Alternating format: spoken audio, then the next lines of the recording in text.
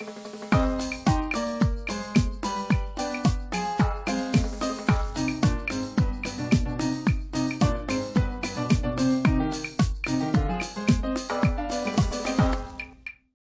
buenas noches, gracias por acompañarnos nuevamente. Yo soy Edgardo Bermejo y me acompaña mi compañera Kimberly Armengol. ¿Cómo estás, Edgardo? Buenas Muy noches. bien, buenas noches. Y gracias a ustedes que nos han acompañado en Mondiacult 2022.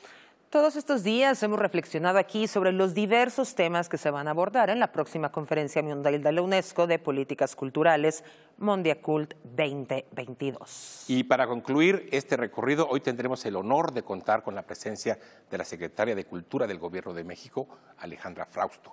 Con ella vamos a conversar sobre las expectativas de esta histórica reunión en la que participan más de 190 países, casi todas las naciones del planeta. Y entre ellos, más de 100 ministros de Cultura que van a compartir su visión sobre el futuro de las políticas culturales, reconociendo el impacto transformador que tiene la cultura en todos los ámbitos de la vida humana. Y así es, del combate a la pobreza y la desigualdad, al cambio climático, de la lucha por la paz y el desarrollo sostenible, al crecimiento económico o la construcción de sociedades democráticas, en todo esto la cultura juega un papel de gran relevancia. Mondiacul 2022 y la Ciudad de México van a ser el escenario de este gran acontecimiento para nuestro país y para el mundo. Comenzamos. Mondiacult 1982 y la Declaración de México, que firmaron más de 120 países, abrieron el camino a la manera en que se definió la cultura y las políticas culturales en las décadas posteriores. Se acordó una nueva manera de entender a la cultura, no solo como manifestación de las bellas artes, comprendió además los modos de vida, sistemas de valores, tradiciones y creencias humanas. Fueron pioneras en reconocer los vínculos entre cultura y desarrollo de los países y acuñaron el término de industrias culturales para hablar de su impacto económico. Mondiacult 1982 afirmó que todas las culturas forman parte del patrimonio común de la humanidad, distinguió por primera vez entre patrimonio material e intangible y reconoció que la diversidad cultural y la identidad son dos aspectos indisociables. 40 años después, los ministros de cultura de todo el mundo que se reunirán nuevamente tienen la responsabilidad de actualizar la agenda global de las políticas culturales heredada de aquella primera edición. Muchos temas han surgido en estos años. Actualmente el desarrollo se entiende solo desde una perspectiva sostenible, sin comprender o afectar el equilibrio ambiental o los derechos humanos.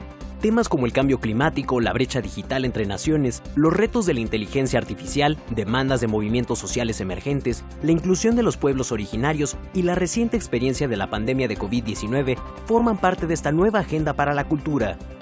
México contribuirá en esta discusión no solo como país anfitrión, su liderazgo cultural en la región y una visión renovada, inclusiva y solidaria de nuestras propias políticas culturales tomarán la palabra en Mondiacult 2022.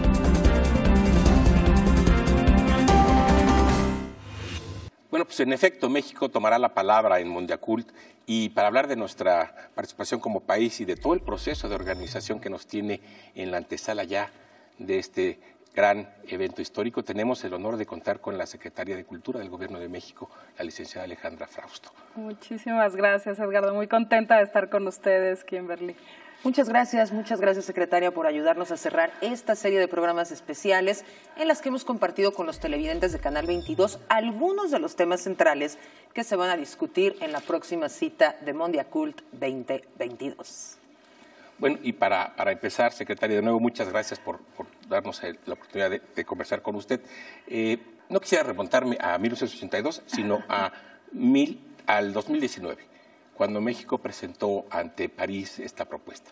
Me gustaría mucho que nos contara cómo fue que México tuvo la iniciativa de llevar a París esta idea de, volver a tener una reunión mundial de políticas culturales aquí en México. Pues justamente, Edgardo, el mundo ha cambiado muchísimo. El mundo del 82 para acá, en 40 años, haber eh, prácticamente roto el diálogo. Obviamente estuvo Edimburgo en el medio, pero una conferencia donde lográramos ponernos de acuerdo en un momento donde la humanidad, eh, en ese momento no sabíamos lo que nos venía, no sabíamos que venía una pandemia que nos eh, uniría en una crisis, ¿no? A toda la humanidad.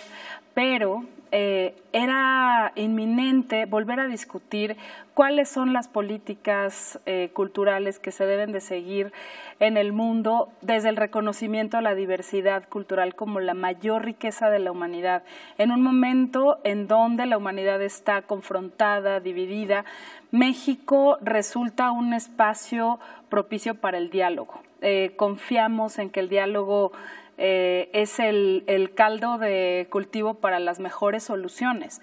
Entonces, eh, pues nos eh, arrojamos a proponer a la UNESCO que nos volviéramos a reunir, que lográramos que este Mondiacult de, de 2022 fuera un espacio en donde dejáramos claro que no hay que dejar un silencio tan grande, sino de manera cotidiana tener los mecanismos para permanecer en contacto y en diálogo entre las instituciones culturales del mundo.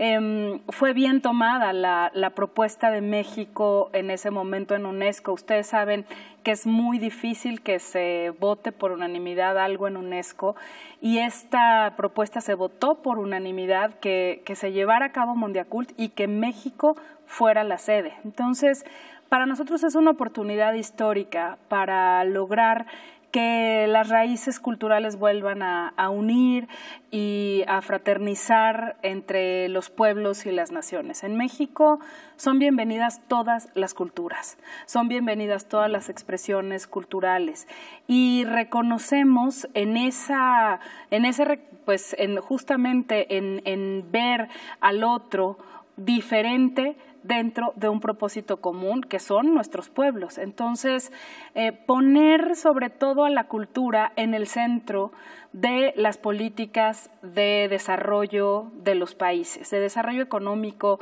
de desarrollo comunitario. Em, finalmente, la cultura tiene esa capacidad de unir, de reunir, de hacer comunidad. Y, y muchos países del mundo, eh, pues yo creo que todos tienen alguna fisura eh, social que atender, que en donde la cultura juega un papel fundamental eh, para generar armonía, para generar comunidad, soluciones empáticas, soluciones en el que el reconocimiento pacífico del otro se convierte en una posibilidad de construcción. Y, justamente en eso estamos, esta era la propuesta eh, ante UNESCO, conociendo pues que, que en este momento en, Naciones Unidas se requieren acuerdos, se requieren posibilidad de, propósito común y la cultura tiene esa extraordinaria fuerza y pues es ponerla en juego. Un esfuerzo indispensable en estas épocas, secretaria. Y bueno, entiendo que ya han sido más de dos años de consultas, más de dos años de negociaciones literalmente en todo el mundo. ¿Qué es lo que se ha discutido y qué ha salido a la luz en este largo proceso de preparación? México, México participó en la consulta de los países de América Latina y el Caribe. Así es. Ha sido muy interesante, como les decía, de que, de, que se aprobó que México, que se hiciera Mundiaculto y se hiciera en México. Vino la pandemia, vino este, este momento de crisis. Eh, y, empezamos en diciembre del año pasado un proceso de consultas. Que, ¿A qué se refieren las consultas? Es ponernos de acuerdo en una agenda común todos los países del mundo. Eh, se dice en unos segundos, pero lograrlo no es menor. la cumbre del 82 pues fue un periodo más o menos de 15 días.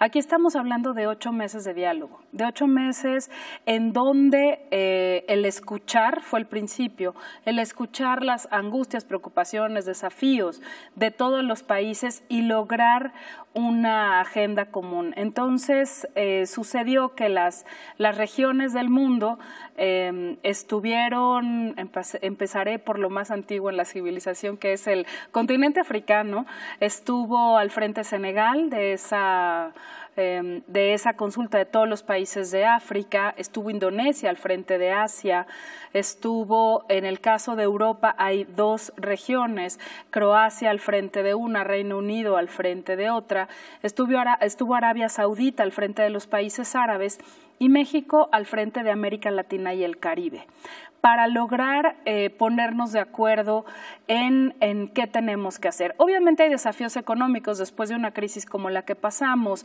Eh, la cultura, pues es uno de los sectores, todos los sectores fuimos afectados por la pandemia, pero somos de, por nuestra naturaleza, por reunir, somos de los primeros en salir, de los últimos en volver y hay países en donde todavía no se reabren los espacios culturales, siendo un derecho, siendo además un bálsamo, una cura, un remedio ante la angustia que representó eh, el confinamiento. Entonces, por una parte, se ha salido a la luz eh, el tema de el reencuentro social, lo presencial, como algo fundamental para salir adelante. México ha sido muy enfático en que volvamos a esta presencialidad. Ya no sabemos cuidar. Hay países que no tienen el avance en vacunas que nosotros tenemos y bueno, tienen sus, sus desafíos. También se ha puesto eh, como parte de la discusión la reactivación económica del sector desde un ámbito y desde una visión diversa, desde todas aquellas industrias culturales que pueden provenir de una pequeña comunidad o de las grandes industrias culturales que tienen que ver con lo audiovisual, con, eh, con otras grandes industrias como la editorial, pero una reactivación del sector profunda el reconocimiento eh, de la gente cultural. Hay países que hablan solo del reconocimiento del artista. Para nosotros es importante que ese paraguas sea bastante amplio y hablar del reconocimiento de la gente cultural, porque no podríamos hacer cultura sin un tramoyista, sin un bibliotecario, sin una poeta. Es todo un, un, un universo mucho más complejo que el que solamente nos reduce a un, a un ámbito de, de la parte cultural. Ahora, reconocer a la diversidad cultural como la mayor riqueza de la humanidad es una de las propuestas que nos hemos puesto como país, que la hemos compartido y ahí eh, luchamos contra eh, pues problemas muy serios de la, de la humanidad, el racismo, el clasismo, la exclusión y por tanto la violencia. Entonces la cultura tiene este poder de hacer comunidad, hacer paz eh, y ahí es uno de los ejes que también se van a discutir. Obviamente hay algo que está como mar de fondo indivisible que es la unión entre naturaleza y cultura. El tema del cambio climático, el tema de cómo puede afectar a países del Caribe en su patrimonio cultural un huracán más que una invasión bélica, por ejemplo. Entonces, eh, la defensa del patrimonio en tiempos de crisis. No hablamos de conflictos, porque no solamente hay uno, hay muchos conflictos en el mundo. Entonces, si nombramos a uno, tenemos que nombrar a todos. ¿Cómo preservamos los derechos culturales frente a las distintas crisis que podemos enfrentar como distintos países? Entonces, estos son algunos de los temas que han salido y me parece uno muy central y categórico en el que México eh, pues ha tenido una postura de avanzada. La creación de un ODS de cultura, específico de cultura y ha tenido resonancia en todas las regiones del mundo. Y de, todos estos temas hemos venido hablando en este programa, secretaria. Y eh, qué bueno que lo subraya, porque en efecto, Mondiacul no se limita a tres días. Mondiacul es el resultado de un proceso de muchos meses, de muchas consultas, de mucho escuchar a los otros. Eh, y no solo a nivel regional, también aquí en México me parece que se han organizado eh, diferentes foros y, y, eventos en esta idea de hacer de Mondiacul un espacio en donde todos puedan tener una voz y una opinión, ¿cierto?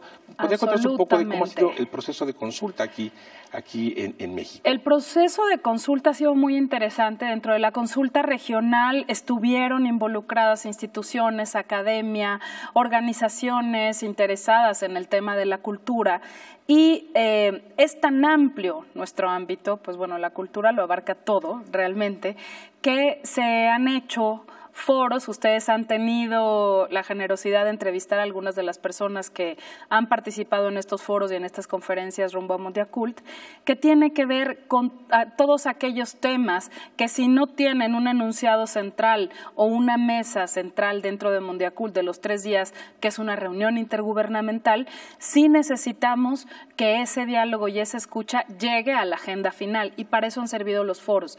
Han habido muchos foros, siguen todavía bien hay algunos eventos paralelos que están sucediendo durante Mundiacult y todo esto nutre la declaración final, nutre el documento que firmaremos, esperemos en acuerdo, todos los países eh, aquí presentes, 193 delegaciones. Este, eh, para nosotros este momento y esta declaración, pues no es un punto de llegada, sino un punto de partida. Punto de partida que nos va a dar mucho trabajo Mondiacult para continuar un proceso cotidiano de, diálogo, de fraternidad entre las naciones para llegar a puntos en común, pero esa declaración final será un instrumento base para las políticas culturales del futuro. Nos estaremos, pues quienes vengan regresarán a su país con tareas contundentes eh, y nosotros mismos así, así las asumiremos. Secretaria, Mondia Cult 1982 le aportó a las políticas culturales una definición pues mucho más amplia, más antropológica de la cultura. 40 años después, lo que vemos es que además de concebir la cultura como un derecho equiparable a los derechos humanos, igual de importante, se le reconoce también como un bien público de la humanidad, como si fuera el agua, el aire que respiramos. ¿Sería una de estas de las principales aportaciones de Mondiacul 2022? Así es, es vital. La cultura, nacemos con ella y morimos con ella.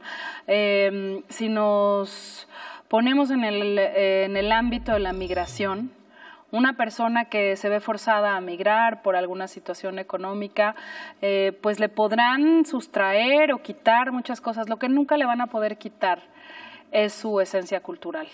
Y eso, eso es parte del bien eh, común de la humanidad esta, esta fuerza de las distintas identidades como parte de un, de un mundo diverso.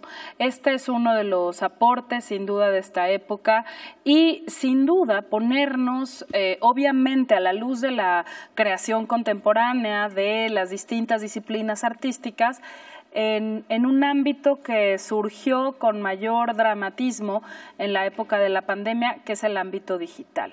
Y ha puesto en evidencia estas consultas, este trabajo de escucha y diálogo, la enorme brecha digital que existe en el mundo y que es un terreno en el que ya ganamos un espacio muy grande en el que no vamos a dar un paso atrás, pero que tenemos que eh, los países trabajar porque esta brecha digital, que es uno de los mecanismos para garantizar los derechos culturales, sea mucho menor.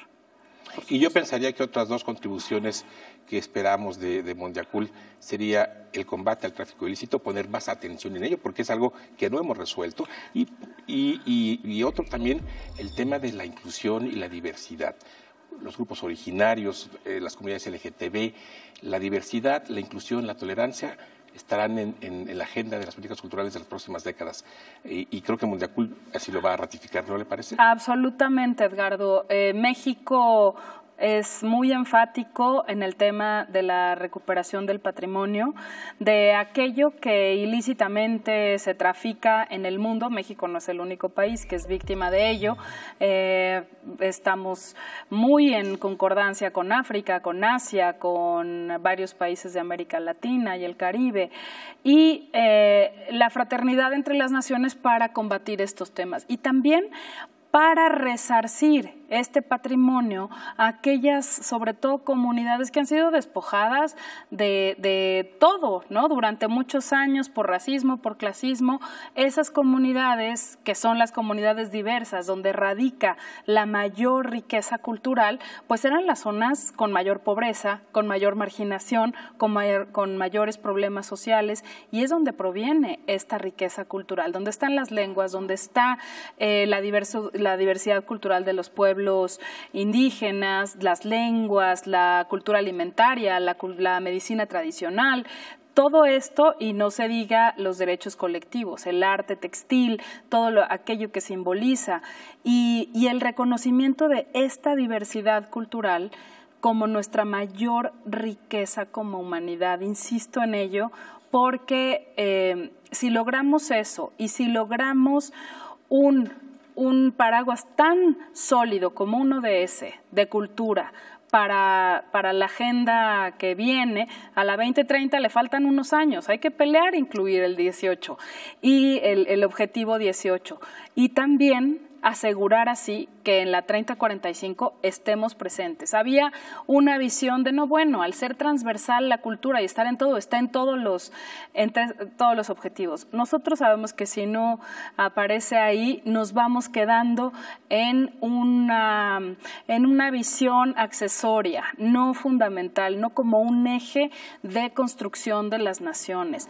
Y eso se refleja desde luego en presupuestos, en legislación, en, en pues en distinta este marco regulatorio internacional, nacional, y, es, eh, nos parece fundamental. En, estas, eh, en estos dos grandes pies eh, va a caminar esta, esta declaración. Entonces vamos, vamos viendo cómo estamos ya recibiendo, algunos ministros ya están aquí en estas, en estas fechas y estamos, pues es un proceso que continuará, pero pues ahora sí en cuenta regresiva para que suceda la conferencia. Casi se nos acaba el tiempo, pero habría muchos otros temas por abordar. Pero le pregunto entonces finalmente, secretaria, ¿cómo va a ser la organización, la logística del evento, cómo coordinar todo este gran movimiento de más de 2.000 representantes de todo el mundo que se van a reunir aquí. Así es, pues es un esfuerzo intergubernamental. Yo agradezco profundamente el apoyo del presidente de México que nos ha aportado eh, no solamente un marco generoso para la fraternidad de las naciones, un espacio en donde tengamos oportunidad de abrir el diálogo. México es uno, es un país que ahorita es un refugio para muchos de estos diálogos. Eh, tenemos la colaboración de la Secretaría de Relaciones Exteriores, de las eh, autoridades locales de la Ciudad de México. Se va a llevar a cabo en Chapultepec. Por supuesto, los eh, organismos de seguridad que nos están ayudando. Es una logística compleja.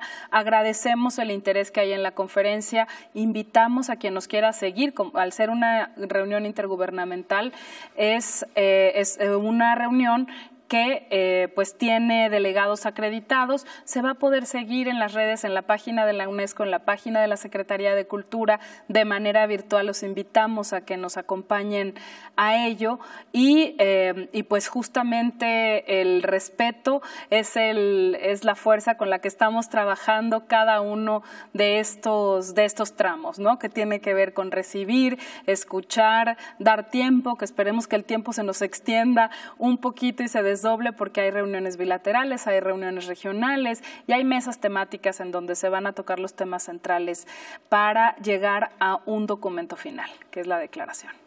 Y pues sí, como dice, el, tiempo no se puede expandir, el tiempo nuestro también ha concluido. Le agradecemos muchísimo, secretaria, eh, por, por, cerrar de esta manera eh, eh, este programa y estamos ya en la antesala de Mondiacul 2022. El mundo entero o las políticas culturales del mundo entero pondrán su atención en México por segunda ocasión. Muchísimas, gracias. Muchísimas gracias por el espacio y por todos los programas previos. Ayudaron muchísimo a comunicar. Pues muchas gracias, secretaria, nuevamente por acompañarnos esta noche. Muchísimas gracias también por toda la labor para realizar Mondiacul 2022.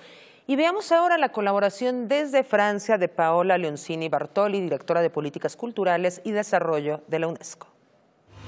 Les agradezco por su amable invitación a participar en esta cápsula. La preparación de la conferencia Mondiacult fue parte de un proceso participativo e inclusivo único, que se realizó a través de una serie de consultas regionales organizadas por la UNESCO desde el año pasado, involucrando estados, así como organizaciones y actores a nivel nacional, regional, subregional e internacional, redes de ciudades, actores del mundo académico, de la sociedad civil y de las comunidades creativas.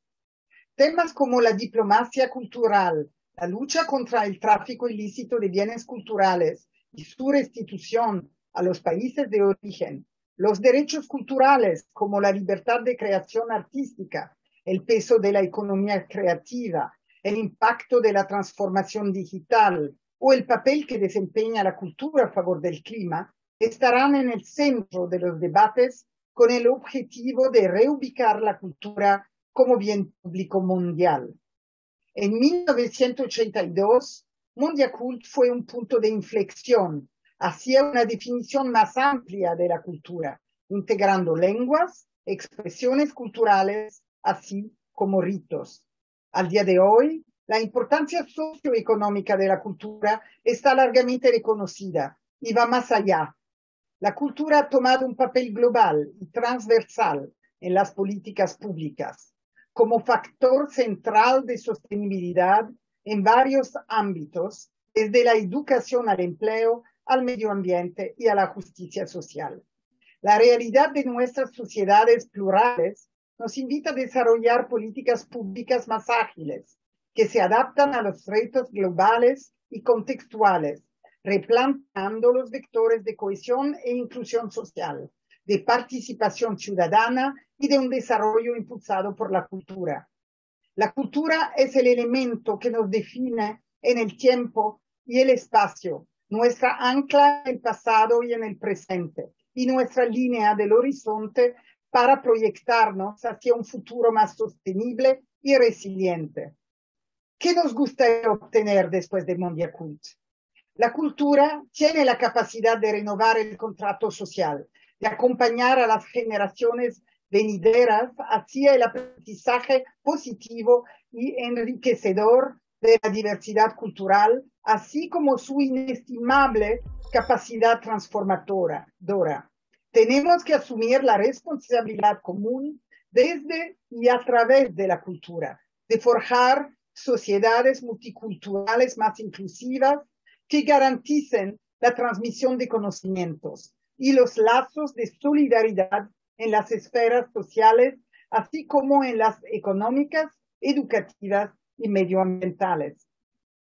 La declaración que se adoptará a final de la conferencia ambiciona ser una hoja de ruta para impulsar el diseño de las políticas públicas futuras. La cultura es dinámica, es un recurso inagotable y renovable en su capacidad de imaginar, de adaptarse e innovarse. La cultura es nuestro bien público común más poderoso. Gracias. Yo soy Kimberly Armengol, les agradezco que nos hayan acompañado en Rumbo a Mondia Cool 2022. Edgardo, buenas noches. Buenas noches, Kimberly. Muchas gracias por todo. Y pues sí, todo plazo termina por cumplirse y por fin nos encontramos en la víspera de Mondiacult. 1982 y 2022 quedarán registrados como dos momentos cruciales para la cultura del mundo y ambos han ocurrido aquí, en México. Muy buenas noches. Gracias por habernos acompañado.